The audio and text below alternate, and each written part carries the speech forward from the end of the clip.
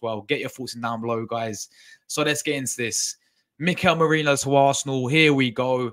Verbal agreement in place for the Spanish midfielders to join the Gunners. It's going to be a 32 million euro plus a 5 million add-on, uh, plus 5 million add-on, sorry, with uh, favorable payment terms and the contracts until 2028. Uh, Arsenal closing on the Merino deal since the end of the uh, end of July, and of course Merino only wanted Arsenal. So there we go, 32 million plus 5 million add-ons, guys. That is in euros there. Um, but yeah, he's officially signed uh, for uh, Arsenal. There we go. Here we go. Here we land. Get in there, guys. We finally got our player, Mikel Merino. Make sure you get your thoughts down below. How happy you guys with this signing? And um, you know, it's it's going to be like first. I think my overall thoughts now, and I'll get into you guys' thoughts very shortly. But I think you know, um, overall, like when we first linked with him, I was like, all right, you know, one of those ones really. It wasn't really didn't really get me too like excited. Um, but as time's gone on, when I've really focused and really done my research on the player, and you know, really sort of looked into this player, obviously, like we, we, it's been going on for about a month now, yeah, and you know, we finally got it done now. But as I've obviously looked into the player more, I've watched him a lot more. Um, just look at you know the, the, the, the sort of type of player he is. Uh, I think it's a decent signing. I really do. You know, he's uh, 28 years of age. Obviously, we know he's been in the Premier League once before. He had one season playing in the Premier League, um, playing with Newcastle. He was indeed on loan at Newcastle for that one season. That was a few years ago. That was back in 2018, wasn't it, as well? Um, so, yeah, he had one season in the Premier League already, um, back in playing for Newcastle. And then obviously he's been at Sociedad's, um, been getting that experience playing with Sociedad, obviously was in the Euro winning squad. He is a you know Euro winner. Uh, he actually was a big part of that. He did score the winning goal against Germany um, from a header uh, off the bench, and uh, that's where I main, of course mainly saw the guy play is uh, is there. But um, look, this guy's going to be coming in, guys, as we know most likely. Uh, where he usually does play is the left eight role. Uh, you know, and I think as I said before, we've been lacking, you know, that left eight. Saw that you know left eight role there saw that natural number eight there because other, I mean, as I said last season, like Arteta played Havertz there for the start of it. I don't like personally. I don't think it suits him there. I think he's more a centre forward. Um, Arteta tried Declan Rice there towards the end of the season. Of course, when we played the three in the midfield of Rice, Partey, and Odegaard, he, he put Trossard there. Like he didn't really have a proper natural number eight. I feel like Merino coming in you know, is going to be that natural eight. And, you know, what that does do is it ultimately uh, bolsters our, you know, left hand side. You know, our, our left hand side now is, is going to become so much more um, stronger because we actually have a left eight there.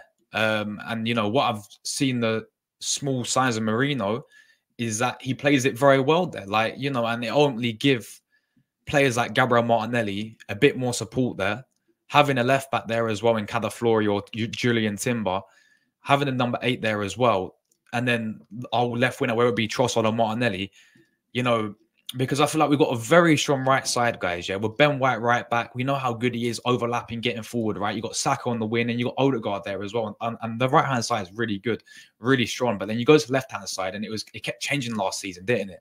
You know, like a left back, we, we played uh, Kiwior, Tomiyasu, Zinchenko. Zinchenko's was inverting and then didn't really help out Martinelli too much. Um, and obviously that left eight as well kept changing as well. So Merino coming in, playing in that left eight role, um, I think is, you know, he's, he's showing good signs. He's showing some really good signs um, playing there. But at the same time, I feel like he has characteristics as well. And it, it wouldn't surprise me. I think that, don't get me wrong, I think the midfield is going to be uh, Merino, Rice, and Odegaard. Rice in the six. But it wouldn't surprise me if we change it around because we have seen Rice play number eight. We have seen Rice play more advanced in certain games. We saw it. Um, we saw it at the start of this season. You know when we played Rice by Odegaard, and we saw it um, at the end of last season. So at the end of the day, it wouldn't surprise me if we would change that around in certain games. You know, because I feel like Merino is a very physical player. You know, he's very athletic, very like sort. Of, you know, he's like six foot two, isn't he as well? So you know, he's he's you know technically gifted as all you know Spanish ballers are. Um, so I just feel maybe we could see them change around as well. I feel like he has, and this is what Fabrizio said uh, ages ago. Apparently, Arteta views him in different roles as well. So it wouldn't surprise me if you know one game we could switch. He could play six or he can play eight. But I see it mainly him coming in, guys, as the left eight. I feel like we've been lacking that, and you know Mika Merino coming in, um, obviously for you know 32 million plus 5 million add-ons. Yeah i, I think the payment's decent. Um i think it's a very good signing. I think we've been lacking that midfielder there as i said. But then my next point is we have what eight days left until the window does officially end? We've got literally eight days left till the window end guys yeah?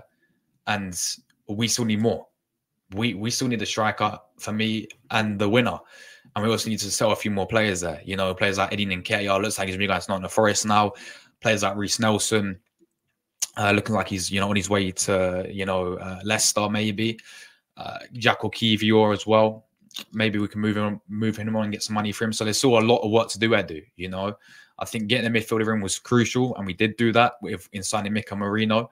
And time will tell how good the signing will be because there's always that question mark about, you know, he he has been in the Premier League before did he really hit the ground running? I know it's for you know for one season. I do understand. I know I know I know he's a bit more inexperienced. I know he's a bit more younger, but you always have that question mark of these players coming in. Can they adapt to the style of play and and you know sort of uh, the Premier League? But I think the way how Arteta plays, you know, I think it suits Mika Merino, and obviously that's why we signed him.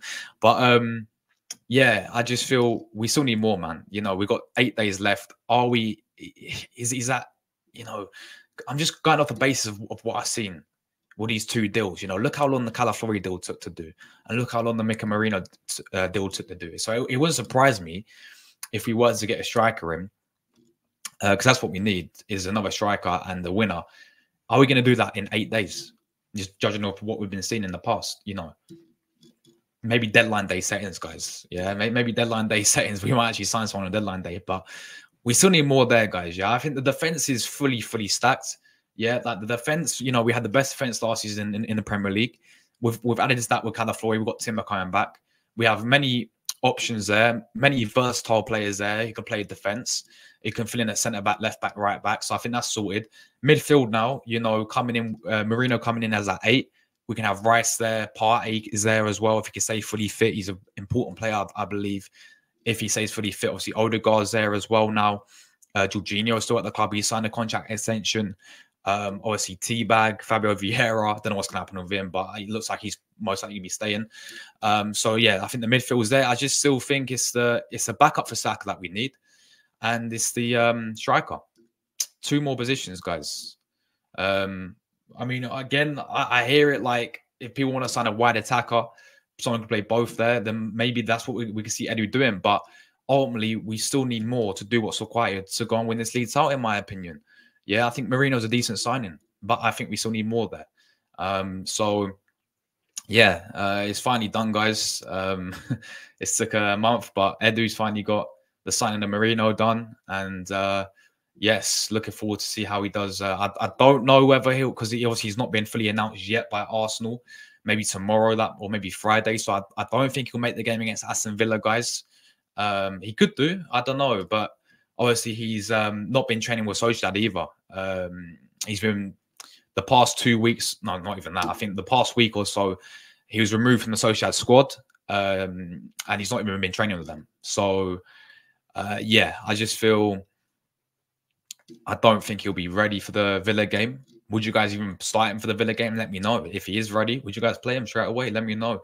To throw him in a game like this, you know, uh, let me know. But guys, get the likes up as well. Um, if you are new to the channel, make sure you do subscribe. We are on the road to 9,000 subscribers. So many of you guys in here as well. Um, thank you very much for tuning in, everyone. Make sure you get your like. Uh, uh, make sure you guys get your likes up as well. And if you are